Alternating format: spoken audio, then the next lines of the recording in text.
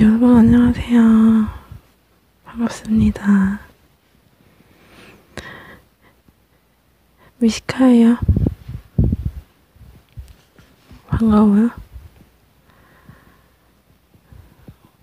벌써 2022년 새해가 밝았네요. 모두들 새해 복 많이 받으시고 이번 년에는 코로나가 조금이나마 종식이 될진 모르겠지만 그래도 조금이나마 많이 사라지길 바래보면서 조심스럽게 일상을 보내야겠죠?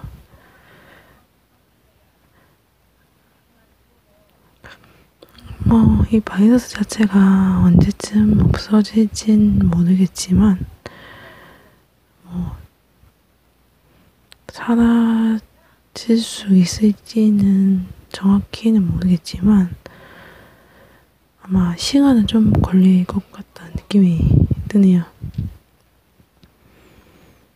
그래도 이번 년이 호랑이 해인 만큼 호랑이의 기운을 받고 용맹스럽게 한번 이겨내 보자고요. 호랑이처럼 물러서지 않고 용맹하게 맞서 싸워서 이겨야겠죠? 당연히. 이기길 바라면서